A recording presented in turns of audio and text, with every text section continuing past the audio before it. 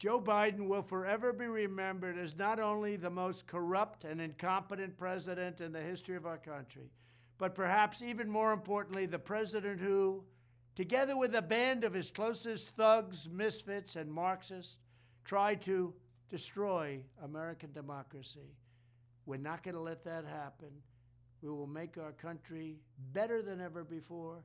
We will make America great again. Thank you.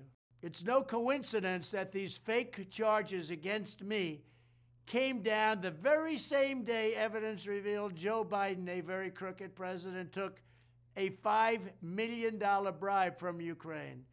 Now, there's no coincidence whatsoever. And he took plenty more than that. Thank you very much.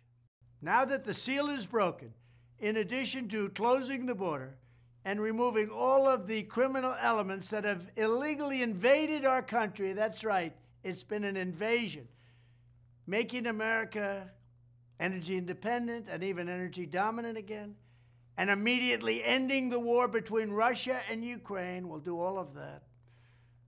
I will appoint a real special prosecutor to go after the most corrupt president in the history of the United States of America, Joe Biden, the entire Biden crime family, and all others involved with the destruction of our elections, borders, and our country itself. These are corrupt people. These people are destroying America, and they're going to pay a price for it.